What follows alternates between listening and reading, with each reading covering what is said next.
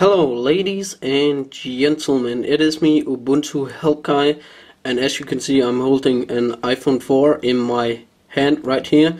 It's because today I want to show you how you can use your um, iPhone wireless connection or 3G connection uh, on your uh, Ubuntu laptop or Ubuntu desktop PC.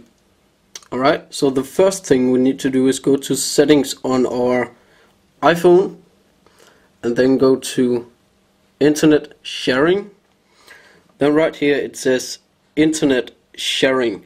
We will obviously enable that. And right here it says make connection via Wi-Fi.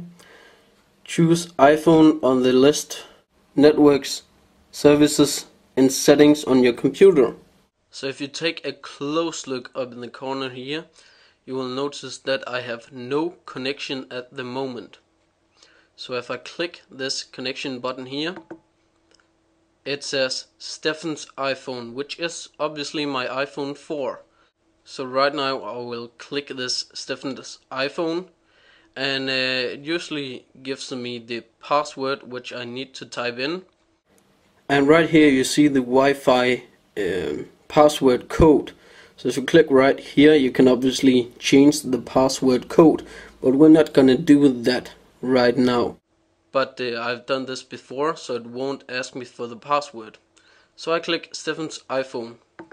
And right here it says it connected to my iPhone 4. So right here, when you see I have connected my iPhone to my laptop, my Ubuntu laptop, it says Internet Sharing connection 1. So uh, let's actually test out the connection. So I'm using my iPhone 4's uh, Wi-Fi right now. I'm not using the Wi-Fi on my or in my laptop. I'm only using the iPhone 4 uh, Wi-Fi. So let's test YouTube. What I've noticed is that it loads quite slow, but it's working as you can see and here you go, you can see that it's actually working perfectly.